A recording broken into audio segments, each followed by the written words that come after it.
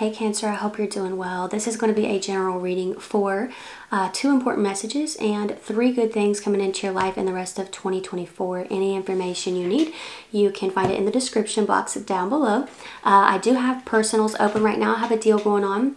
Uh, it's a three question reading. Uh, so you can either get the email version, it's 2222, or you can get the video version, it's 4444.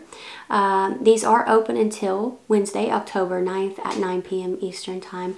Everything's down below if you're interested, like I said, but we're going to go ahead and begin here, Cancer, see what we've got for you, okay? See what we got for Cancer here. All right. Some of you could have some Leo in your chart, possibly um, Big Three or Venus, some of you Mars got Taurus and Libra energy here as well. Somebody here might be a Taurus or Libra moon. Um, so when it comes to the energies present here, we're going to start with your important messages, okay? You have the strength card showing up. So right off the bat, I really feel as if you're bouncing back from something. So this could be a situation that really stung in your life here, um, you could be bouncing back from that. That can be a card of resilience, but I really feel that the important message here is that, you know, you're going to get through this. At the same time, I also feel as if Spirit's pushing you to be disciplined. For those of you who are not, um, you know, healing from something actively, something recent, uh, I feel as if this is Spirit pushing you to stay disciplined, stay on top of something because you're going to get to the other side. You're going to hit that finish line here. I think that's why strength is showing up. Spirit's like, hey, push through, keep going, stay disciplined, okay? okay? Um, we have the Seven of Wands showing up right here. Some of you, that could be like working out, exercise, things of that nature. That could be why that's showing up because it can be like, you know, endurance and things like that. We have the uh, Seven of Wands here as your second important message. So, you know, Seven of Wands can be a card of like leveling up, passing a test, beating the odds. For a lot of you, I feel this has to do with setting boundaries, okay?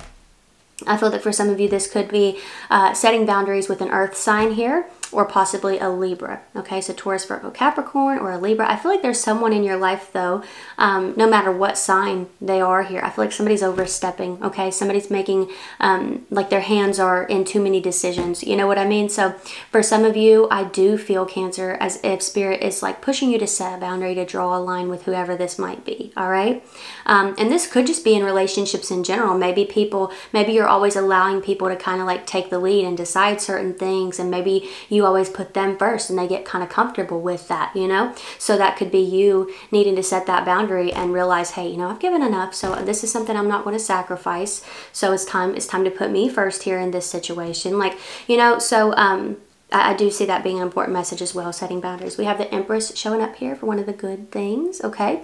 And, you know, really this is a card of fertility, abundance. It's good all around. However, you know, when it comes to this energy.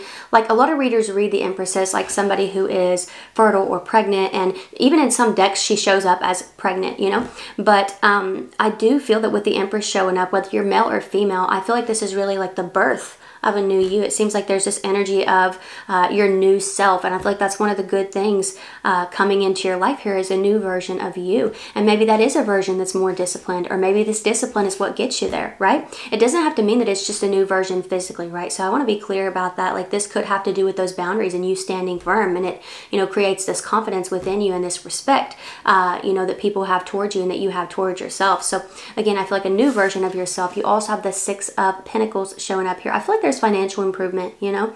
I think money's going to get better here in the remainder of 2024 with this Six of Pentacles energy showing up here. It may not be that you're like filthy rich overnight or anything of that nature, but uh, I do feel like there could be some financial improvements coming in or possibly a pay raise, you know. You have Three of Cups showing up here as well. I feel like this is better friendships, better communities, surroundings. I also feel as if you're going to be more picky about who you date. For those of you who are single and you're dating, I feel like you're going to be more picky about who you allow into your life, who you allow into your world, and who you're giving um, energy to. So, you know, overall, I feel the important messages are be disciplined, you know, you're going to get to the other side of this. Um, and then the Seven of Wands, I feel, is setting boundaries. The Empress, uh, I do feel as a good thing coming in is a new version of you. The Six of Pentacles, financial improvements as one of the good things coming in. And the third good thing I feel is new friendships, new communities, more important, or more supportive uh, surroundings here. So that's what I am seeing here for you, Cancer. I hope that this was helpful or fun or whatever you needed it to be.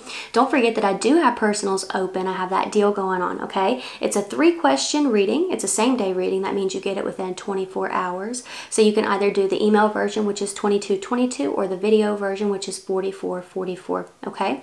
Uh, these do close out on Wednesday, October 9th at 9 p.m. Eastern Time. Everything's down below in the description box if you're interested, of course. But if not, and this is where we part, Cancer, thank you so much for being here. I really appreciate you, and hopefully I'll see you next time. Bye.